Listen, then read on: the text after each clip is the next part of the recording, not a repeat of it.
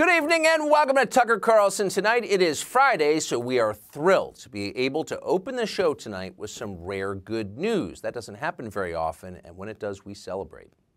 One of the main problems with the U.S. government is that there's no way to know exactly what it's doing because you're not allowed to know. More than a billion federal documents, a billion, have been declared classified, and that means they're off limits to you and all other ordinary American citizens who don't work for the government. You're not allowed to see them, despite the fact they belong to you. Now, no matter what you may have heard, the point of the system is not to protect the country from foreign adversaries. Under the Biden administration, we don't even bother to do that anymore.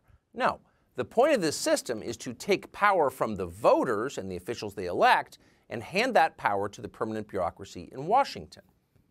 It's infuriating, and over time, it is dangerous. But for once, we can report some meaningful pushback against this regime of secrecy and deceit. Kevin McCarthy of California became Speaker of the House last week, last Friday. And in one of his first big policy changes, he is pledging to let Americans see, quote, all that happened at the U.S. Capitol on January 6, 2021. And that means finally releasing the roughly 14,000 hours of surveillance footage from that day that, as of tonight, remain hidden. Watch this. Yeah, I, I, think the public should see what has happened on day. I've watched what Nancy Pelosi did, where she politicized it, where for the first time in the history as a speaker, not allowing the minority to appoint to a committee, to pick and choose. We watched the politicization of this. I think the American public should actually see all what happened instead of a report that's written for a political basis. And so uh, I think the answer. We're looking through that. I want to be very thoughtful about it, but yes, I'm engaged to do that. Well, yeah. After two full years, after a highly publicized and highly politicized congressional committee, after endless grandstanding in the media, after unprecedented political crackdowns, after nearly 1,000 arrests, after all of that, Americans, yes, they do have a right to know what actually happened on January 6th. That's what Kevin McCarthy said. Who could argue otherwise? What's the counter argument? Well, there is one, and Democrats have been making it in court, and that's why the footage from that day is still hidden. Here's an actual quote from an actual brief filed in an actual federal court by an actual left wing U.S. attorney called Channing Phillips. Quote National security interests could be harmed by the disclosure of the sealed CCTV videos from the Capitol. Once the capabilities of a U.S. Capitol interior surveillance camera, including its position and whether it pans, tilts, or zooms, is disclosed to the public via the release of a single video from that camera, the cat is out of the bag. So that's it right there. You can't know whether the Capitol's surveillance cameras pan, tilt, or zoom. And if you do know, America is in peril. It's completely absurd. Every human movement in the United States Capitol is recorded by cameras, and you already knew that because the same is true in virtually every public building in the Western Hemisphere. That is not a secret. And of course, it's not the secret the Democrats fear you might learn if you saw the tape. They're probably a lot more concerned about whether you'll discover how many law enforcement agents actively helped January 6 protesters enter the building that day. Some of them definitely did. We know that for a fact because we have the tape. Watch. Police are squabbling with protesters. Oh, there we go.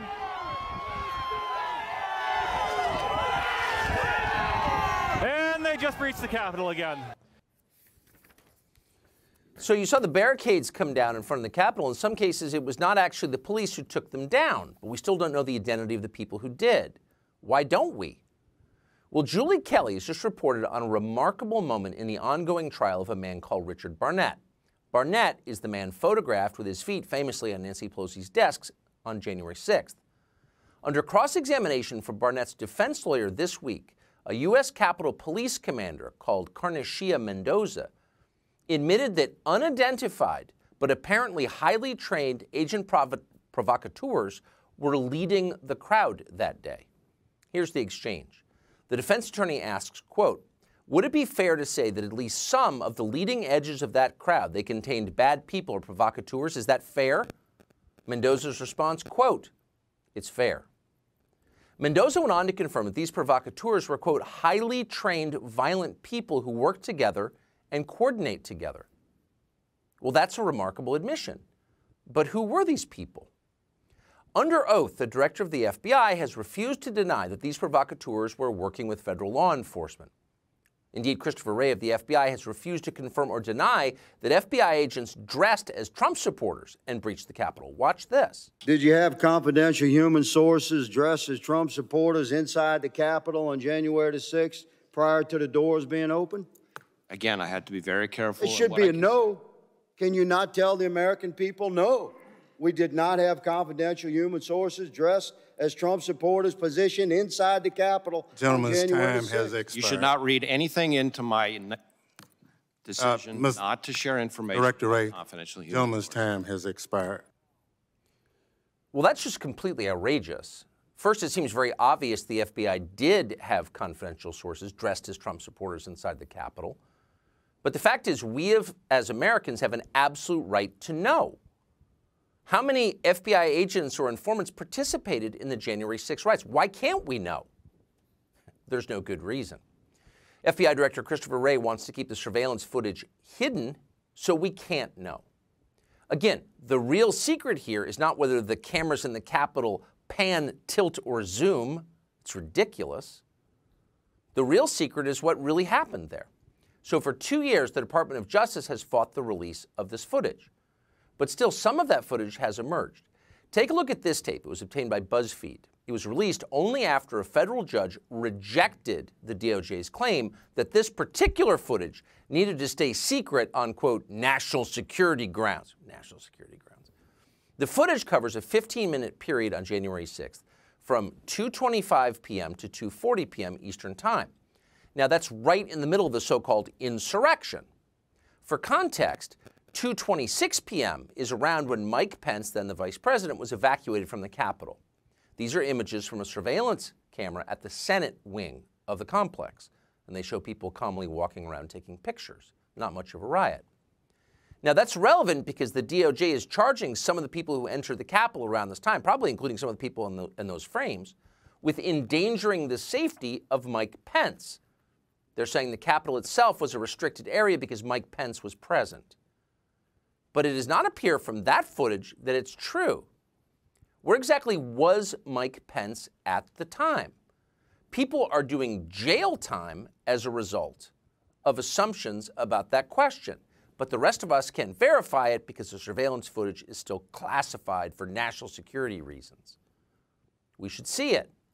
That footage might also show when exactly Capitol police officers began CPR on Rosanne Boyland, one Trump supporter who died that day. And that would be important to know as well for her family and for the rest of us.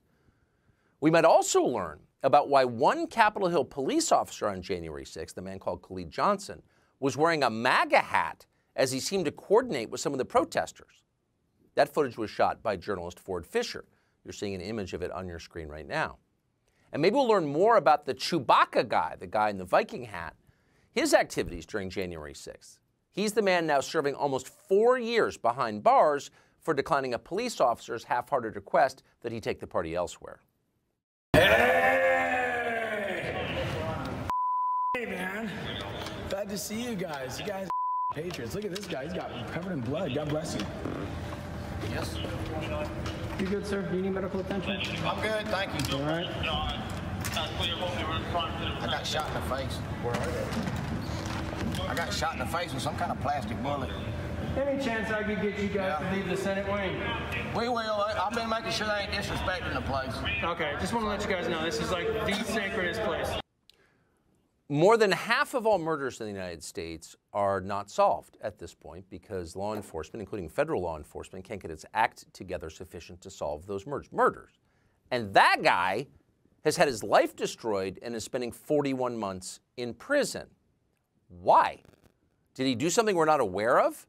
The surveillance footage would show us and answer that question. But big picture, if you don't want another January 6th, if you want to avoid another riot like that, you'd want as much of the footage to come out as possible. Instead, our government has been using the information blackout it claims is necessary for national security in order to do what they usually do under the cover of classification law, and that's lie to us. Joe Biden just claimed on camera that right wing insurrectionists, racists, killed a Capitol police officer called William Evans. William Evans, of course, was murdered at a checkpoint by a supporter of the Nation of Islam. Three months after January 6th, while they're still cordoning off the Capitol because threats these, by these sick insurrectionists continued to be profligated on the internet.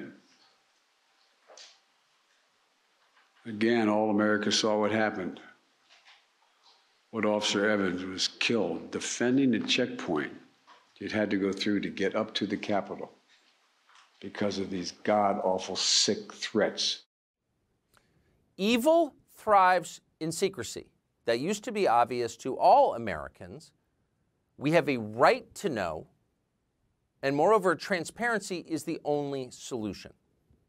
And it looks like we're going to get some. And that's thanks to the new Speaker, Kevin McCarthy, and to the small group of Republicans who pushed him in that direction. Matt Gaetz of Florida is one of them.